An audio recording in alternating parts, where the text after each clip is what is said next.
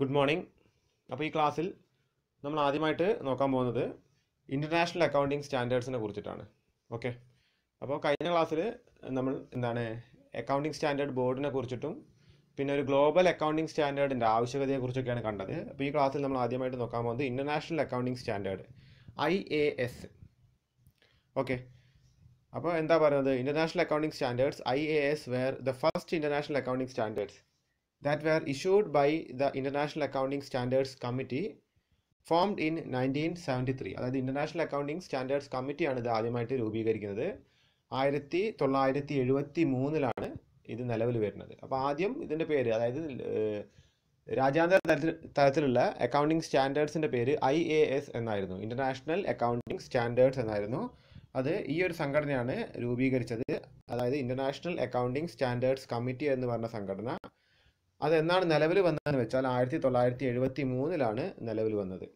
The main goal was to make it easier to compare businesses around the world increase transparency and trust in financial reporting and fast and global trade and investment അതായത് ലോക വ്യാപാരത്തിൽ രാജ്യാന്തര തലത്തിൽ നടക്കുന്ന വ്യാപാരം വർദ്ധിപ്പിക്കാനും investment വർദ്ധിപ്പിക്കാനും അതേപോലെ ഫിനാൻഷ്യൽ റിപ്പോർട്ടിങ്ങിന്റെ വിശ്വസ്തത കൂട്ടാനൊക്കെയാണ് ഈ ഐ എ എസ് ആയിരത്തി തൊള്ളായിരത്തി എഴുപത്തി മൂന്നിൽ ഇന്റർനാഷണൽ അക്കൗണ്ടിങ് സ്റ്റാൻഡേർഡ്സ് കമ്മിറ്റി കൊണ്ടുവരുന്നത്. ഈ പേരുകളൊക്കെ അണ്ടർലൈൻ ചെയ്ത് വെക്കേണ്ടതാണ്.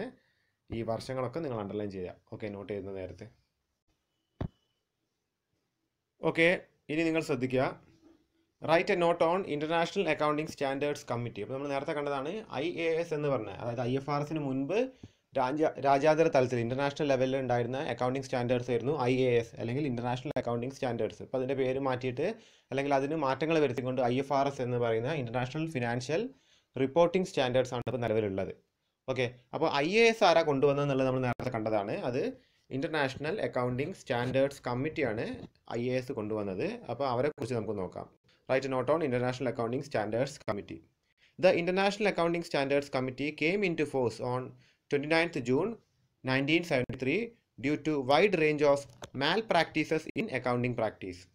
അതായത് ഇരുപത്തൊമ്പത് ജൂൺ ആയിരത്തി തൊള്ളായിരത്തി എഴുപത്തി ഒന്നിലാണ് ഇത് നിലവിൽ വരുന്നത്. അപ്പോൾ എന്തുകൊണ്ടാണ് ഇത് നിലവിൽ വരാൻ കാരണം എന്ന് വെച്ചാൽ there was a wide range of malpractice in accounting field accounting ഫീൽഡിൽ ഒരുപാട് ക്രമക്കേടുകൾ നടക്കുന്നുണ്ടായിരുന്നു. Okay it is an outcome of the nineteen seventy two world accounting congress after an informal meeting between representatives of the Institute of Chartered Accountants of England and Wales and American Institute of Certified Public Accountants. The committee headquarters are situated in London. The agreement to form IASC was signed by 16 accounting bodies from nine nations. These nine nations are USA, Canada, UK, Australia, France, Germany, Japan, Netherlands, Mexico. International accounting standard committee has issued certain standards അപ്പോൾ standards നമുക്ക് താഴെ പറയാം. അപ്പോൾ ഇവിടെ എന്താ പറയുന്നത്? ആയിരത്തി തൊള്ളായിരത്തി എഴുപത്തി രണ്ടിൽ ഒരു വേൾഡ് അക്കൗണ്ടിങ് കോൺഗ്രസ് അപ്പോൾ കോൺഗ്രസ് എന്ന് പറഞ്ഞ സമ്മേളനമാണ്. ഓക്കെ കോൺഗ്രസ് മീൻസ് എന്നാണ് സമ്മേളനമാണ്. അപ്പോൾ ഇങ്ങനത്തെ ഒരു ലോകത്തിലുള്ള അക്കൗണ്ട് മെയിൻ ആയിട്ടുള്ള രാജ്യങ്ങൾ അതായത് ഇപ്പോൾ എന്താണ് സാമ്പത്തികമായിട്ട് പിന്നോക്കം നിൽക്കുന്ന രാജ്യങ്ങളൊന്നുമല്ല പ്രധാനപ്പെട്ട രാജ്യങ്ങൾ അതായത് ഫ്രാൻസ് ജപ്പാൻ ഇവിടെ പറഞ്ഞ രാജ്യങ്ങളൊക്കെ നെതർലാൻഡ് മെക്സിക്കോ അപ്പോൾ ഇതൊക്കെ പ്രധാനപ്പെട്ട രാജ്യങ്ങളാണ്. അപ്പോൾ അവർ ഉള്ള അക്കൗണ്ടിങ് എന്താണ് പ്രൊഫഷണൽ ബോഡീസിന്റെ റെപ്രസെന്റേറ്റീവ്സ് എല്ലാവരും കൂടി ചേർന്നിട്ട് ഒരു സമ്മേളനം നടത്തുകയും അതിനോട് അനുബന്ധമായിട്ടാണ് ഈ ഐ എ എസ് സി എന്ന് പറഞ്ഞ സംഘടന രൂപീകരിക്കുന്നത്. ആയിരത്തി തൊള്ളായിരത്തി എഴുപത്തി രണ്ടിലാണിത് നടക്കുന്നത്. എഴുപത്തി മൂന്നിലാണ് സംഘടന രൂപീകരിക്കുന്നത്. എഴുപത്തിരണ്ടിലാണ് കോൺഗ്രസ് സമ്മേളിക്കുന്നത്. അപ്പോൾ മെയിനായിട്ട് ഇതിൽ ആരൊക്കെയാണ് ഉള്ളതെന്ന് വെച്ചാൽ chartered accountants of England and Wales വളരെ ലോകത്ത് തന്നെ ഏറ്റവും എന്താണ് പ്രസിദ്ധമായിട്ടുള്ളൊരു എന്താണ് പ്രൊഫഷണൽ ബോഡിയാണത് അക്കൗണ്ടൻസ് ഏറ്റവും കൂടുതൽ എന്താണ് എഫക്റ്റീവായ അക്കൗണ്ടൻസ് ഉള്ളത് ഇംഗ്ലണ്ട് ആൻഡ് വെയിൽസിലെ ചാർട്ടേഡ് അക്കൗണ്ടൻസ് ആണ്. പിന്നെ അതേപോലെ തന്നെ അക്കൗണ്ടിങ്ങിന്റെ ഡെഫിനിഷനും കാര്യങ്ങളൊക്കെ കൊടുത്തിരിക്കുന്നത് American institute of certified public accountants ആണ്. അപ്പോൾ അമേരിക്കയുടെ എന്താണ് അക്കൗണ്ടൻസിന്റെ പ്രൊഫഷണൽ ബോർഡ് നമ്മളവിടെ എന്താണ് ഇന്നലെ പറഞ്ഞ പോലെ നമ്മുടെ ഐ സി എ ഉള്ള പോലെ ഇംഗ്ലണ്ടിന്റെ അമേരിക്കന്റെ ഒക്കെ സംഘടനകളാണിത്. അപ്പോൾ അവരൊക്കെ ചേർന്നിട്ടാണ് ഈ ഒരു കമ്മിറ്റി രൂപീകരിക്കുന്നതും. ഈ കമ്മിറ്റിയാണ് പിന്നീട് international accounting standard I F R എസിന് മുൻപുള്ള ഇന്റർനാഷണൽ അക്കൗണ്ടിംഗ് സ്റ്റാൻഡേർഡ് രൂപീകരിക്കുന്നത്. അപ്പോൾ ഈ രാജ്യങ്ങളുടെ പേരൊക്കെ ഒന്ന് ഓർത്ത് വെക്കുക. ഒമ്പത് രാജ്യങ്ങളാണ് ഉണ്ടായിരുന്നത്. പതിനാറ് പേരാണ് ഇതിൽ സൈൻ ചെയ്തത്. ഓക്കെ. അപ്പോൾ ഇവിടെ കൊടുത്തിരിക്കുന്നത് list of such standards are given below. അതായത് ഇന്റർനാഷണൽ രൂപീകരിച്ച ഇന്റർനാഷണൽ അക്കൗണ്ടിംഗ് സ്റ്റാൻഡേർഡ്സിന്റെ ഒരു പത്ത് സ്റ്റാൻഡേർഡ് നമുക്ക് നോക്കാം. അതിൽ ആദ്യമായിട്ട് പറഞ്ഞത് ഐ എ എസ് വൺ ആണ്. അപ്പോൾ ഐ എ എസ് വൺ എന്തിനാ സൂചിപ്പിക്കുന്നു എന്ന് വെച്ച് കഴിഞ്ഞാൽ ഇന്റർനാഷണൽ അക്കൗണ്ടിംഗ് സ്റ്റാൻഡേർഡ് വൺ എന്തിനാ സൂചിപ്പിക്കുന്നു എന്ന് വെച്ച് കഴിഞ്ഞാൽ പ്രസന്റേഷൻ ഓഫ് ഫിനാൻഷ്യൽ സ്റ്റേറ്റ്മെന്റ് എങ്ങനെയായിരിക്കണം ഫിനാൻഷ്യൽ സ്റ്റേറ്റ്മെന്റുകളായ ബാലൻസ് ഷീറ്റും അതേപോലെ പ്രോഫിറ്റ് ആൻഡ് ലോസ് അക്കൗണ്ടും എങ്ങനെയായിരിക്കണം പ്രസന്റ് ചെയ്യണം എന്നുള്ളത്. ഇപ്പോൾ കോർപ്പറേറ്റ് അക്കൗണ്ടിങ്ങിൽ കമ്പനീസിന്റെ ബാലൻസ് ഷീറ്റും കമ്പനീസിന്റെ പ്രോഫിറ്റ് ആൻഡ് ലോസ് അക്കൗണ്ടും ഒക്കെ വെർട്ടിക്കൽ ഫോർമാറ്റിലാണ് നമ്മൾ പ്രസന്റ് ചെയ്യുക. അതിപ്പോൾ ഇന്ത്യയിലാണെങ്കിലും ലോകത്ത് എവിടെയാണെങ്കിലും വെർട്ടിക്കൽ ഫോർമാറ്റിലാണ് പ്രസന്റ് ചെയ്യുക ഓക്കെ നോർമൽ കേസിൽ ഇങ്ങനെയാണ് പ്രസന്റ് ചെയ്യുക. ഒരു സൈഡിൽ നമ്മൾ എന്ത് ചെയ്യും അസറ്റിന് ചെയ്തും ഒരു സൈഡിൽ ലയബിലിറ്റി ചെയ്തും. പക്ഷേ കമ്പനീസിന്റെ കേസ് ആകുമ്പോൾ വെർട്ടിക്കൽ ഫോർമാറ്റിൽ അതായത് ഇങ്ങനെ വരച്ചിട്ട് ആദ്യം മേലെ അസറ്റ് ചെയ്തും പിന്നെ താഴെ ലയബിലിറ്റി ആയിട്ട് ഇങ്ങനെയാണ് ചെയ്യുക ഓക്കെ അത് കമ്പനിയുടെ ഒരു ഫോർമാറ്റാണ് അതതിന്റെ പ്രസന്റേഷന്റെ എന്താണ് രീതിയാണ്. അപ്പോൾ ആ ഒരു രീതിയിലാണ് കമ്പനീസ് പ്രസന്റ് ചെയ്യേണ്ടത്. ഓക്കെ. അപ്പോൾ അതേപോലെ ഓരോ ഫിനാൻഷ്യൽ സ്റ്റേറ്റ്മെന്റ് എങ്ങനെ പ്രസന്റ് ചെയ്യണം എന്നുള്ളത് അതിന്റെ ഫോർമാറ്റ് എങ്ങനെ ആയിരിക്കണം എന്നുള്ളത് പറയുന്നുണ്ട്. കാര്യം ഫിനാൻഷ്യൽ സ്റ്റേറ്റ്മെന്റുകൾ പണ്ടൊക്കെ പല രീതിയിലായിരുന്നു പ്രസന്റ് ചെയ്തുകൊണ്ടിരുന്നത്. അപ്പോൾ ഓരോരുത്തരും ഓരോ രീതിയിൽ പ്രസന്റ് ചെയ്യുമ്പോൾ പെട്ടെന്നും ഒരു ഓഡിറ്ററൊക്കെ വരുമ്പോൾ അത് പിന്നെ എന്താണ് ഓരോന്നും അയാൾക്ക് തിരിച്ചറിയാനൊക്കെ വലിയ ബുദ്ധിമുട്ടാണ്. അതുകൊണ്ട് അതിന്റെ പ്രസന്റേഷനിൽ ഒരു സ്റ്റാൻഡർഡൈസേഷൻ കൊണ്ടുവരാനാണ് ഐ എ എസ് വണ്ണ് ശ്രമിച്ചത്. രണ്ടാമതായിട്ട് പറയുന്നത് വാലുവേഷൻ ഓഫ് ഇൻവെൻട്രി വളരെ ഇമ്പോർട്ടന്റ് ആണ് നമുക്ക് ഈ ചാപ്റ്ററിലൊക്കെ വാലുവേഷൻ ഓഫ് ഇൻവെൻട്രി എന്ന് പറഞ്ഞിട്ട് പ്രോബ്ലം ഒരുപാട് ചെയ്യാനായിട്ടുണ്ട്. വളരെ ഇമ്പോർട്ടന്റ് ആയിട്ട് നോക്കേണ്ട ഒരു കാര്യമാണ്. ഓക്കെ അതായത് ഇൻവെൻട്രി എന്ന് വെച്ചാൽ സ്റ്റോക്കാണ് നമ്മൾ വിൽക്കാൻ വെച്ചിരിക്കുന്ന സാധനങ്ങൾ. അപ്പോൾ അതിന്റെ വാല്യുവേഷൻ അതിന്റെ വാല്യൂ കാണണം നമ്മൾ. അപ്പോൾ ആ വാല്യൂ കണ്ട് അതിന്റെ പുറത്തൊരു പ്രോഫിറ്റ് ഈടാക്കിക്കൊണ്ടാണ് നമ്മൾ എന്ത് ചെയ്യുക? നമ്മളത് വിൽക്കുക. അപ്പോൾ അതിന്റെ വാല്യുവേഷൻ വളരെ ഇമ്പോർട്ടന്റ് ആണ്. ഇനി മൂന്നാമതായിട്ട് പറയുന്നത് I A S three it is replaced by I A S twenty seven and twenty eight അത് ആദ്യം ഐ എ എസ് ത്രീ ഉണ്ടായിരുന്നു. പിന്നെ അത് ഇരുപത്തേഴ് ഇരുപത്തെട്ടായിട്ട് റീപ്ലേസ് ചെയ്ത് പോവുകയാണ് ചെയ്തത്.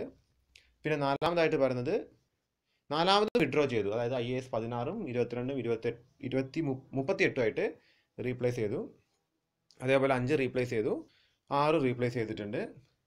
ഇനി ഏഴ് പറയുന്നത് ക്യാഷ് ഫ്ലോ സ്റ്റേറ്റ്മെന്റ് ആണ്. അണ്ടർലൈൻ ചെയ്ത് വെക്കേണ്ടതാണ്. ക്യാഷ് ഫ്ലോ സ്റ്റേറ്റ്മെന്റ് എന്ന് പറയുന്നത് ഒരു ഫിനാൻഷ്യൽ സ്റ്റേറ്റ്മെന്റ് ഉണ്ട്. അപ്പോൾ അതാണ് ഏഴ് പറയുന്നത്. പിന്നെ എട്ട് പറയുന്നത് profit and loss statement for the period അതായത് എങ്ങനെയായിരിക്കണം പ്രോഫിറ്റ് ആൻഡ് ലോസ് അക്കൗണ്ട് തയ്യാറാക്കേണ്ടതെന്ന് ഐ എ എസ് എട്ടാണ് പറയുന്നത്. ഐ എ എസ് ഒൻപത് പറയുന്നത് research for development cost will be surrendered by I S thirty eight development കോസ്റ്റിനെ കുറിച്ചിട്ടാണ് ഐ എസ് നയൻ പറയുന്നത്. അപ്പോൾ അത് റീപ്ലേസ് ചെയ്തു. തേർട്ടി എയ്റ്റ് ആയിട്ട് റീപ്ലേസ് ചെയ്തു. ഐ എസ് ടെൻ പറയുന്നത് events after balance sheet date അതായത് ബാലൻസ് ഷീറ്റ് ഡേറ്റിന് ശേഷം പിന്നെ മോണിറ്ററി ഇവന്റ്സ് അതെങ്ങനെയായിരിക്കണം റെക്കോർഡ് ചെയ്യേണ്ടത് എന്നതാണ് ഐ എസ് ടെന്ന് പറയുന്നത്. ഓക്കെ അപ്പോൾ ഇത് ജസ്റ്റ് ഒന്ന് ലിസ്റ്റായിട്ട് എഴുതി വെക്കുക. അപ്പോൾ ഐ ഐ എ സിനെ കുറിച്ച് ചോദിക്കുന്ന നേരത്തെ അല്ലെങ്കിൽ ഐ എ എസിനെ കുറിച്ച് ചോദിക്കുന്ന നേരത്ത് നമുക്കൊരു നാലഞ്ച് എന്താണ് ഇതിന്റെ ലിസ്റ്റ് എഴുതേണ്ടി വരും. അപ്പോൾ ഇതിൽ ഈ ഒരു പത്രം നിങ്ങളൊന്ന് എഴുതി വെക്കുക നിങ്ങളുടെ നോട്ടിലേക്ക് എഴുതി വെക്കുക റീപ്ലേസ് ചെയ്തതും ചേർത്തിട്ട് ഇതൊക്കെ എഴുതി വരും ഓക്കെ ഇനി നമുക്ക് അടുത്തതായിട്ട് നോക്കാനുള്ളത് ഇന്റർനാഷണൽ അക്കൗണ്ടിങ് സ്റ്റാൻഡേർഡ്സ് ബോർഡാണ് ഓക്കെ അപ്പോൾ ആദ്യം ഐ എ എസ് സി ആയിരുന്നു ഉണ്ടായിരുന്നത് ഇന്റർനാഷണൽ അക്കൗണ്ടിങ് സ്റ്റാൻഡേർഡ്സ് കമ്മിറ്റി പിന്നീടാണ് ഇന്റർനാഷണൽ അക്കൗണ്ടിങ് സ്റ്റാൻഡേർഡ്സ് ബോർഡ് വരുന്നത്. അതായത് ഐ എ എസ് കാര്യമായിട്ട് അത് അതിന് എഫക്റ്റീവ് ആയില്ല. കാര്യം എല്ലാ രാജ്യങ്ങളും അത് ഏറ്റെടുക്കാൻ തയ്യാറായില്ല.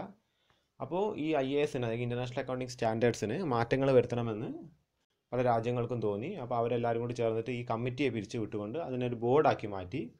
അപ്പോൾ ആ ബോർഡാണ് പിന്നെ ഐ എഫ് ആർ എസ് എന്ന് പറയുന്ന ഇന്റർനാഷണൽ ഫിനാൻഷ്യൽ റിപ്പോർട്ടിംഗ് സ്റ്റാൻഡേർഡ്സ് രൂപീകരിക്കുന്നത്. ഓക്കെ. അപ്പോൾ ഇവിടെ ശ്രദ്ധിക്കുക. ആയിരത്തി തൊള്ളായിരത്തി എഴുപത്തി മൂന്നിലായിരുന്നു ഐ എ എസ് സി നിലവിൽ വന്നത്. അപ്പോൾ I I I A S C നിലവിൽ വന്നത്. ഐ എ എസ് ബി നിലവിൽ വരുന്നത് ഏപ്രിലാണ് രണ്ടായിരത്തി ഒന്നിലാണ് നിലവിൽ വരുന്നത്. അപ്പോൾ അധികകാലം ആയിട്ടില്ല.